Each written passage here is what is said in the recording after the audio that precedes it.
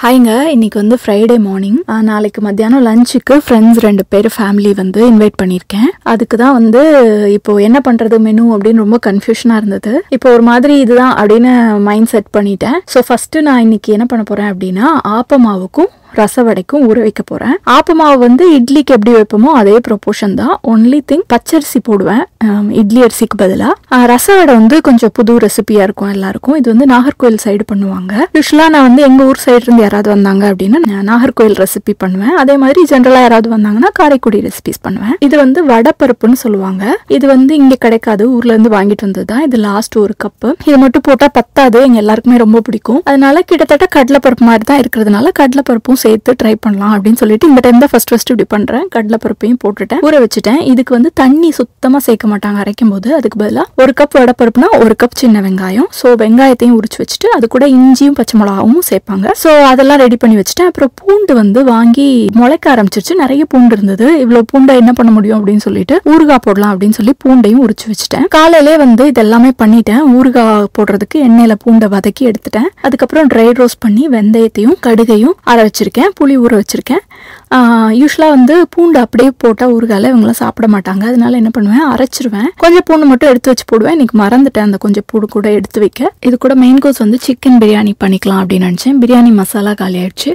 யூஸ்வலாக அந்த ஹைதராபாடி ஸ்டைல் பிரியாணி பண்ணால் வந்து மிர்ச்சி சாலன்னு சொல்லிட்டு ஒரு சைடு இருக்கும். அது பண்ணுவேன். ஸோ இந்த பிரியாணி மசாலாக்கு ஹோல் கரம் மசாலா எல்லாத்தையும் ட்ரை ரோஸ்ட் பண்ணிவிட்டு அரைச்சிக்கணும். ஸோ அதுவும் காலி ஆயிடுச்சுன்னு சொல்லி அதையும் பண்ணிட்டு இருந்தேன் அதுக்கப்புறம் அந்த மிர்ச்சி சாலனுக்கு வந்து நிலக்கடலை தேவைப்படும். அதையும் வறுத்து தோல்லாம் உரிச்சு வச்சுட்டேன் மார்னிங்கே பூண்டு ஊறுகாய் மட்டும் முடிகிறதுக்குள்ளே எனக்கு ஆஃபீஸ் ஸ்டார்ட் ஆயிடுச்சு. ஸோ அதனால நான் வந்துட்டு ஆஃபீஸ் வேலை சைடில் பார்த்துட்டு இதை என்ன சிம்மில் வச்சுட்டு அப்படியே விட்டுட்டேன். அதுக்கப்புறம் அதுவும் முடிஞ்சிருச்சு. அப்புறம் ஈவினிங் தான் போயிட்டு நம்ம நிறைய ஐட்டம்ஸ் காலி ஆயிடுச்சு. லைக் பிரியாணி ரைஸ் அப்புறம் வந்து மின்ட்டு கொத்தமல்லி பெரிய வெங்காயம் பால் முட்டை ஒரு பொண்ணு வந்து மீன் சிக்கன் சாப்பிட மாட்டா அப்படின்னு சொன்னாங்க. அதனால மீனும் வாங்கணும்னு இருந்தோம். சரி ஈவினிங் போய் வாங்கிக்கலாம் அப்படின்னு தான் நினச்சிருந்தோம். பட் ஈவினிங் வந்து விஜய்க்கு ஒரு கால் வச்சுட்டாங்க.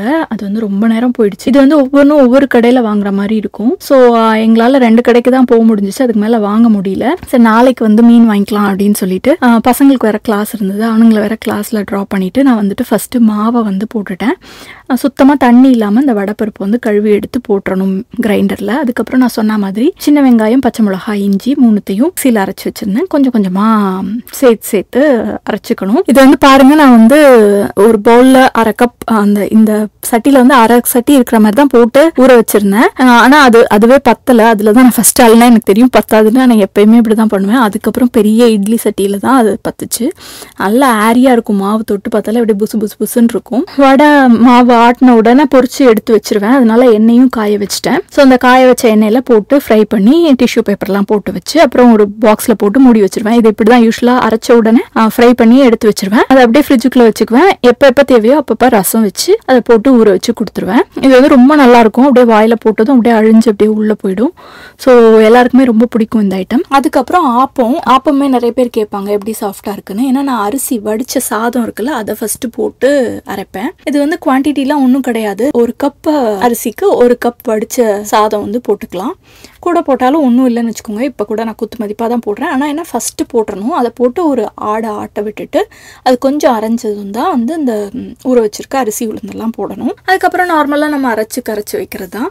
வேறு எதுவும் பெரிய ப்ராசஸ்லாம் கிடையாது. நான் சோடா உப்புலாம் கூட போட மாட்டேன். அதுக்கப்புறம் ஆப்பத்துக்கு வந்து மஷ்ரூம் குழம்பு வச்சுக்கலாம் அப்படின்னு சொல்லிட்டு அதுக்கு வந்து தேங்காய் அந்த சீரகம் அதெல்லாம் அரைச்சு வறுத்து அரைச்சு வச்சுட்டேன். அதுக்கப்புறம் இந்த மிர்ச்சி சாலனுக்கும் நான் வந்து ரெசிபி சொல்கிறேன் அது ரொம்ப நல்லாயிருக்கும் ஒரு நாலு டேபிள் ஸ்பூன் வறுத்த கடலை கடலை கடலை ஆல்ரெடி வறுத்துட்டேன். இருந்தாலும் இன்னும் கொஞ்சம் வறுத்துக்கிறேன். அதுக்கப்புறம் ரெண்டு டேபிள் ஸ்பூன் வெள்ளை எள்ளு ஒரு டீஸ்பூன் சீரகம் அப்புறம் கால் டீஸ்பூன் வெந்தயம் நாலு வரமிளகா. இதெல்லாம் கொஞ்சம் வதங்கினதுக்கு அப்புறம் மூணு டேபிள் ஸ்பூன் தேங்காய். ஸோ இது வந்து கரெக்டாக இந்த ப்ரொபோஷனில் போட்டால் தான் டேஸ்ட் நல்லா இருக்கிற மாதிரி இருக்கும் எனக்கு. அதனால இது மட்டும் கரெக்டாக ஃபாலோ பண்ணுவேன். மற்ற எல்லாம் கொஞ்சம் குத்து மதிப்பாக தான் போடுவேன். ஸோ இதையும் வறுத்து ஆற வச்சு அரைச்சி வச்சுட்டேன் உள்ள. வடை முடிஞ்சதுக்கு அப்புறமா அந்த வெங்காயத்தை வறுக்க ஆரம்பித்தேன் அதே எண்ணெயில். அதுவும் ஒரு த்ரீ டைம்ஸ் போட்டு எடுக்கிற மாதிரி இருந்தது. அதனால அது கொஞ்சம் லேட் ஆகும். இந்த மாவும் ரெடி ஆயிடுச்சு. ஆப்ப மாவும் அதையும் எடுத்து கரைச்சி வச்சுட்டேன். புளிக்க வச்சுட்டு அதுக்கப்புறம் சிக்கனை கழுவிட்டு மேரினேட் பண்ணி வைக்கலாம் அப்படின்னு எடுத்தேன். அதில் வந்து உப்பு மஞ்சத்தூள் மிளகாத்தூள் இது வந்து பேசிக்காக போடுறது. அதுக்கப்புறம் அந்த பிரியாணி மசாலா அரைச்சி வச்சோம்ல அது போட்டுட்டு தயிர் லெமன் நெய் அப்புறம் ஹோல் கரம் மசாலா வெங்காயம் கொத்தமல்லி புதினா அப்புறம் கொஞ்சம் ஃப்ரை பண்ண வெங்காயம் வச்சுருக்கேன். அதையும் போட்டுட்டு எல்லாத்தையும் மேரினேட் பண்ணி ஃப்ரிட்ஜுக்குள்ளே வச்சுட்டு இன்றைக்கி நைட் படுத்துட்டோம். தி நெக்ஸ்ட் டே ஆக்சுவலி வந்து நேற்று காலையிலே கொஞ்சம் கொண்டக்கடலை வந்து ஊற வச்சிருந்தேன். நைட் படுக்கிறதுக்கு முன்னாடி ஸ்லோ குக்லையும் போட்டுட்டு படுத்துட்டேன். அது நல்லா வெந்துருச்சு. சரி ஸ்வீட் வேற என்ன பண்ணுறதுன்னே நான் டிசைட் பண்ணவே இல்லை நேற்று வரைக்கும். இன்னைக்கு தான் அப்புறம் சரி கஸ்டர்ட் பவுடர் இருக்குது அப்புறம் ஒரு டிண்டு ஃப்ரூட் கேன் இருக்குது ஆக்சுவலி கஸ்டர்டை யூஸ் பண்ணி நான் வந்து பழப்பாயசம் தான் பண்ணுவேன். பழம் வந்து எல்லாமே ஃப்ரெஷ்ஷாக வெட்டி தான் போடுவேன். இன்னைக்கு வந்து ரொம்ப தூக்க கலக்கமாகவும் இருந்தது. அந்த டிண்டு ஃப்ரூட்டும் இருந்தது. அதனால அதை வச்சு பண்ணிக்கலாம் அப்படின்னு சொல்லிட்டு ஃபர்ஸ்ட் கஸ்டர்டை வந்து பாலில் போட்டு கரைச்சி அதை அந்த கஸ்டர்ட் பவுடர் வேகிற வரைக்கும் விட்டுட்டேன். ஆப்பிள் மட்டும் வீட்டில் இருந்ததை வெட்டி போட்டுக்கலாம். ஏன்னா அந்த டின்டு ஃப்ரூட்டில் ஆப்பிள் கிடையாது. யூஸ்வலாக ஆப்பிள் நிறைய போடுவேன். அதனால ஆப்பிள் போட்டுக்கலாம் அப்படின்னு சொல்லிட்டு ஆப்பிளையும் வெட்டிட்டேன். சூடான பாலில் வந்து ஃபஸ்ட்டு ஆப்பிளை போட்டு நல்லா ஸ்மாஷ் பண்ணணும். அந்த ஆப்பிளோட ஜூஸ் கொஞ்சம் இறங்கி பாலோட பிளெண்ட் ஆகி வரணும் அப்படிங்கிறதுக்காக. பட் எனக்கு வந்து அது பண்ண வராது. விஜய் வேற சின்ன பையனுக்கு கிளாஸ்ன்னு சொல்லிட்டு போயிட்டாங்க. அப்புறம் வீட்டுக்கு வந்தும் வந்து அவங்க என்ன பண்ணுவாங்கன்னா வீடை க்ளீன் பண்ணுறதுலாம் தான் இருப்பாங்க. கெஸ்ட் வந்தால் இந்த சைடே வர மாட்டாங்க அப்படியே எஸ் ஆயிடுவாங்க அப்புறம் அவங்கள பிடிச்சி பிடுங்கி இதை எப்படியாவது பண்ணி கொடுங்க. எனக்கு வந்து நசுக்கவே வர மாட்டேங்குது அப்படின்னு சொல்லிட்டு அதை மட்டும் அவங்கள பண்ண வச்சுட்டேன். அப்புறமா வந்து அந்த டிண்டு ஃப்ரூட்டையும் பிரித்து கொட்டி பார்த்தேன். பழ பாயசம் பண்ணுறதுக்கு முன்னாடி எந்த ஃப்ரூட் போடுறதுனாலும் அதை கொஞ்சம் சாப்பிட்டு பார்க்கணும். ஏன்னா அதில் புளிப்பு இருந்ததுன்னா ஃபுல் பாயசமும் வந்து ஸ்பாயில் ஆகிடும் அதனால அந்த ஃப்ரூட் டின் ஃப்ரூட்டில் உள்ளதை வந்து சாப்பிட்டு பார்த்தேன். கொஞ்சம் ஜெல்லிஸ் வேறாவும் போட்டிருந்தான். ஸோ இது கூட வந்து நான் இந்த ஜவ்வரிசியும் சேர்ப்பேன். ஜவ்வரிசியோ இல்லை டேப்பியாக்கோ சீட்ஸோ ஏதோ சேர்ப்பேன். இங்கே வந்து நைலான் ஜவ்வரிசி கிடைக்க மாட்டேங்குது. மாவு ஜவ்வரிசி தான் வச்சுருக்காங்க. அதை எப்படி குக் பண்ணுறதுன்னு எனக்கு தெரியல. அதை ஊற வச்சுருந்தேன். ஊற வச்சுட்டு டக்குன்னு சுடு தண்ணியில் போட்டு எடுத்தால் ஓகேங்கிற மாதிரி சில வீடியோஸ் பார்த்தேன். சரி அதே ட்ரை பண்ணி பார்க்கலாம் அப்படின்னு சொல்லிட்டு ஊற வச்சுட்டு போட்டால் அது அப்படியே சுத்தமாக கரைஞ்சு போயிடுச்சு. ஸோ அது போட முடியல. அப்புறம் தான் என்ன பண்ணுறது அப்படின்னு யோசிச்சுட்டு இருந்துட்டு சரி ஓகே பாஸ்தா இருக்குது அதை கொஞ்சம் வேக வைக்கலாம்னு சொல்லி அதை வேக வச்சுட்டு ஆல்மோஸ்ட் ஃப்ரூட் பாயசம் வந்து ரெடி ஆயிடுச்சு. நான் சுகர்லாம் போட்டு அந்த டென் ஃப்ரூட்லாம் போட்டு உள்ளே வச்சுட்டேன். அப்புறம் தான் எனக்கு ஞாபகம் வந்துச்சுன்னு சொல்லி பாஸ்தாவை போட்டு எடுத்ததும் இந்த ஸ்வீட்டுக்குள்ளே தான் முடிச்சிருவேன். இல்லாட்டி இந்த ஸ்வீட்டுக்கு ஆப்பிள் இல்லை கேரட் இதெல்லாம் வெட்டணும் அப்படின்னா இந்த வெங்காயம் வெட்டுறதுக்கு முன்னாடி வெட்டிட்டா அந்த ஸ்மெல்லாம் வராது ஸ்வீட் நல்லா வந்துடும் அப்படின்னு சொல்லிட்டு ஃபஸ்ட்டு ஸ்வீட்டுக்குள்ளே தான் நான் பார்ப்பேன். ஸோ அதை முடிச்சுட்டு அதுக்கப்புறமா சாலடுக்குள்ளது வந்து பெரிய ஆனியன் தக்காளி கேப்சிகம் அண்ட் தென் குக்கும்பர் அது கூட நல்லா ரெஃப்ரெஷிங்காக இருக்கணுங்கிறதுக்காக கொஞ்சம் மின்ட் இருந்ததுனால அதையும் வெட்டி போட்டுட்டு கொஞ்சம் கேரட் துருவி வச்சுருந்தேன் அதையும் போட்டுட்டேன். அதுக்கப்புறம் என்ன மிக்ஸ் பண்ணியிருக்கேன் அப்படின்னு பார்த்தீங்கன்னா vinegar lime olive oil salt pepper இவ்வளோதான் இது வந்து ரொம்ப நல்லா இருக்கும் இந்த சாலட் நீங்களும் முடிஞ்ச ட்ரை பண்ணி பாருங்க. அதுக்கப்புறம் மஷ்ரூம் எடுத்து ஒட்டினேன். இது வந்து கொஞ்சம் வித்தியாசமான மஷ்ரூமாக இருக்கும் உங்களுக்கு. இதை வந்து நல்லா குட்டி குட்டியாக வெட்டி போட்டுட்டு கொஞ்சம் டேஸ்ட்டாகவே இருக்கும். இந்த குழம்புலாம் வச்சோம்னா நல்ல டேஸ்ட் கொடுக்கும். ஸோ இந்த நம்ம அரைச்சி வச்சிருந்த கிரேவியோட சேர்த்து குழம்பு வச்சிட்டேன். வெங்காயம் தக்காளி மட்டும் வெட்டி போட்டு வதக்கிட்டு இந்த மஷ்ரூமையும் போட்டுட்டு அந்த கிரேவியும் போட்டு உப்பு மிளகாத்தூள் கரம் மசாலா இதெல்லாம் சேர்த்துட்டு அதையும் ரெடி பண்ணிட்டேன். குழம்பு ரெடி ஆயிடுச்சு. அதுக்கப்புறம் ஒரு சைடு சேமியாவையும் வேக வச்சுட்டேன். அப்புறமா தான் சிக்கன் எடுத்தேன். சிக்கன் வந்துட்டு எப்படி பண்ணுவேன் அப்படின்னா அந்த கன்வென்ஷன் லெவனில் தான் சிக்கன் பிரியாணி பண்ணுவேன். ஃபஸ்ட்டு சிக்கனை எடுத்து அந்த பெரிய இருப்பு சட்டியில் போட்டு கொஞ்சம் வேக வச்சிருவேன். Like seventy to eighty percent வேக வச்சிருவேன் சிக்கனை அது வேகும்போது தான் நிறைய சிக்கன் இருந்தது. சரின்னு சொல்லி கொஞ்சம் எடுத்து மாற்றிட்டேன் ஏன்னா திருப்பவே முடியல அது. எதுவுமே கிண்ட முடியல. அடியில் உள்ளது மட்டும் வெந்துட்டு இருக்கும் அப்படின்னு சொல்லிட்டு மேலாக உள்ளதெல்லாம் கொஞ்சம் எடுத்து வச்சுட்டேன் தனியாக அப்புறம் தான் பார்த்தா ரொம்ப சிக்கன் இருக்கிற மாதிரி இருந்தது. இவ்வளோ சிக்கனை வச்சு பிரியாணி பண்ணால் சாதமே தெரியாமல் போயிடும். அதோட குவான்டிட்டியும் நிறைய வந்துடும் அதனால என்ன பண்ணலாம் அப்படின்னா சிக்கனை வந்து சில பீஸை எடுத்து கொஞ்சம் மசாலாம் போட்டு மேரினேட் பண்ணி ஏர் ஃப்ரை பண்ணிக்கலாம் அப்படின்னு சொல்லி எடுத்து வச்சு அதுவே பத்து பீஸ் கிட்ட வந்துருச்சு. இன்னொரு சைடில் வந்து ரைஸும் வச்சுட்டேன். அதுக்கப்புறம் அது செவன்ட்டி பர்சன்ட் வேகணும். ஆனால் கொஞ்சம் கூடவே வந்துருச்சு எனக்கு. இந்த மாதிரி குவான்டிட்டி கூட பண்ணும்போது இந்த மாதிரி தான் ஆகிடும் அதோட இன்னொரு முக்கியமான விஷயம் நான் சாட்டர்டே வந்து நான்வெஜ் சாப்பிட மாட்டேன்.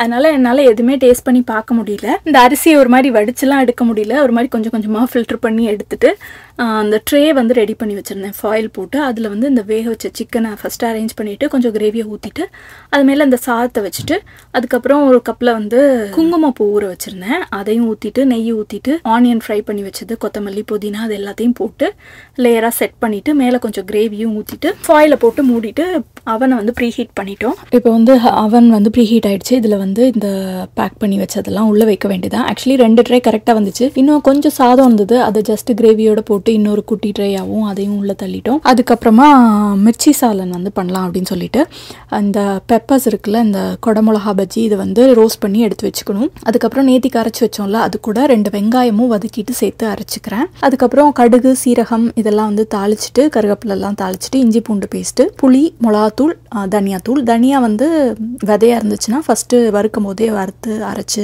சேர்த்துக்கலாம். பட் எனக்கு என்னமோ அது கொஞ்சம் திப்பி திப்பியாக வர மாதிரி இருக்கும். அதனால தனியாக மட்டும் நான் எப்பயுமே பவுட்ரு தான் யூஸ் பண்ணுவேன். அதுக்கப்புறம் கொஞ்சம் நிறையவே எண்ணெய் ஊற்றிக்கோங்க அப்புறம் இந்த கிரேவியை சேர்த்து அது கொஞ்சம் நல்லா வந்ததுக்கப்புறமா இந்த குடமிளகாயும் சேர்த்துடலாம். அவன் வெளியில் வந்து எண்ணெய் வரணும். அதுதான் கன்சிஸ்டன்சி அது வந்துருச்சு அப்படின்னா பர்ஃபெக்டாக இருக்குன்னு அர்த்தம். இதை எடுத்து பவுலில் மாற்றிட்டு ஆக்சுவலி இந்த பவுலுக்குலாம் வந்து மூடி இருக்காது. அதனால எல்லாத்துக்குமே வந்து நான் அந்த மாதிரி ரேப் பண்ணி மூடி வச்சுருவேன். அதுக்கப்புறம் ரசத்தை வந்து வச்சுட்டேன். ஆல்ரெடி தாளித்து வச்சுருந்தோம்ல அதில் வந்து புளியெல்லாம் ஊற்றி ரசமாக்கிட்டேன். இது கிட்டத்தட்ட நம்ம நார்மல் வைக்கிற ரசம் தான். அது கூட கொஞ்சம் சாம்பார் தூளும் கரம் மசாலா தூளும் இஞ்சி பூண்டு பேஸ்ட்டும் ஆட் பண்ணுவேன் இந்த ரசத்துக்கு. அதுக்கப்புறமா அந்த வடையை வந்து நம்ம நேற்றுக்கே போட்டு வச்சுருந்தோம்ல அந்த வடையை ஒன்றுனா போட வேண்டியதான் எப்பயுமே எனக்கு இந்த மாதிரி கொஞ்சம் நிறைய சமைக்கும் போது என்ன ஆகும் இந்த பாத்திரம் எப்பயும் ஃபஸ்ட்டு ஒன்று எடுப்பேன். அது வந்து ஒர்க் அவுட் ஆகாது. அப்புறம் திரும்ப அதை வந்து இன்னொரு பாத்திரத்தில் ட்ரான்ஸ் ட்ரான்ஸ்ஃபர் பண்ணி சமைக்கிற மாதிரி ஆகும். அப்படிதான் ஆச்சு. இன்னைக்கும் ரசவடை வந்து பத்தலை இதில். ஸோ அதனால இன்னொரு இதில் மாற்றினேன் ஊறி வரும்போது வடை வந்து கொஞ்சம் பெருசாகும். ரசமும் குவான்டிட்டி கொஞ்சம் கம்மியாகும். பட் கொஞ்சம் ரசம் வந்து நான் அப்பப்போ தண்ணி ஊற்றுக்குவேன் ஏன்னா அந்த குதிக்கும் போது எவாபரேட் ஆகி ரொம்ப கான்சன்ட்ரேட்டட் ஆகிடும் ஸோ அப்பப்போ தண்ணி ஊற்றிக்குவேன் அதனால பெரிய பாத்திரத்தில் அப்புறமா மாற்றிட்டேன் இப்போ வந்து ஒரு மாதிரி மற்றதெல்லாம் முடிஞ்சிருச்சு. ஆப்பம் மட்டும் வச்சுருக்கேன் பாருங்கள் மாவும் புளிச்சு ரெடி ஆயிடுச்சு. அவங்க வந்ததும் ஊற்றிக்கணும் மாவு எப்படி இருக்குது பாருங்கள் நல்லா அப்படியே ரொம்ப லைட்டாக இருக்கும் மாவு. அதுக்கப்புறம் சிக்கனையும் வந்து ஏர் ஃப்ரையரில் வச்சு எடுத்துட்டு நகெட்ஸையும் ஏர் ஃப்ரையரில் வச்சு எடுத்துட்டேன். ஸோ எல்லா ஸ்டார்டர்ஸும் ரெடி ஆயிடுச்சு. ரசவடை சிக்கன் கிரில் uh, அப்புறம் வந்து நகெட்ஸ் சாலட் எல்லாம். ஸோ அந்த சிக்கன் கிரில் மட்டும் பண்ணி வச்சுட்டு அவங்க வரதுக்கு முன்னாடியே ரெண்டாவது டைம் அந்த ஏர் ஃப்ரையரில் திரும்ப ரீஹீட் பண்ணால் என்ன ஆகுது? ரொம்ப ட்ரை ஆயிடுச்சு சிக்கன் இல்லைனாட்டி ஏர் ஃப்ரையரில் பண்ணால் நல்ல ஜூஸியாக இருக்கும். ஸோ அதனால என்ன பண்ணேன்? இன்னைக்கு ஃபாயில் போட்டு நல்லா ரேப் பண்ணி வச்சுட்டேன். அவங்க வந்ததும் அப்படியே எடுத்து சாப்பிட்ற மாதிரி. என்னெல்லாம் சமைச்சிருக்கேன்னு பாருங்கள் மொத்தமாக இப்போ வச்சுருக்கேன். மஷ்ரூம் uh, குழம்பு ஆப்பத்துக்கு. அதுக்கப்புறம் இது வந்து தயிர் சேமியா நம்ம சேமியா வேக வச்சோம்ல முன்னாடி அதை வந்து தயிர் சேமியாவாக பண்ணி வச்சிருக்கேன். நம்மளோட ஃப்ரெஷ்ஷான சாலட் இது. அதுக்கப்புறம் இது வந்து மிர்ச்சி சாலன். அப்புறம் தயிர் பச்சடிக்கு வந்து நான் ரொம்ப வெங்காயம் போட மாட்டேன். கம்மியாக வெங்காயம் போட்டு மற்ற வெஜிடபிள்ஸ்லாம் போட்டு தயிர் பச்சடி. அதுக்கப்புறம் பிரியாணி இதெல்லாம் பிரியாணி. அப்புறம் இது வந்து தேங்காய் பால். கடைசியாக வந்து சாப்பிட்றதுக்கு பாயசம். இது வந்து கஸ்டர்ட் பாயசம் சொல்லலாம் ஃப்ரூட் பாயசம் சொல்லலாம். இதில் வந்து மா பாஸ்தாவும் போட்டிருக்கேன் இப்போ. அதுக்கப்புறம் கடைசியாக சப்ஜா சீட்ஸும் ஆட் பண்ணிட்டு சர்ட் வந்து இது சாப்பிட்லாம் அப்படின்னு சொல்லிட்டு இதை பிளான் பண்ணி வச்சுருந்தேன். ஓகேங்க இன்னொரு வீடியோவில் பார்க்கலாம். Bye bye.